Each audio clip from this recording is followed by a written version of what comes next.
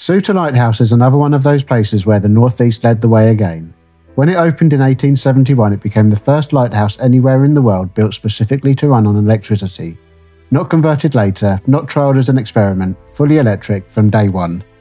It was designed by James Douglas to protect ships from the rocks off Marsden, a stretch of coastline that had claimed more than its share of vessels. Its carbon arc lamp was powerful enough to cut through fog and spray in a way that oil lights simply couldn't match.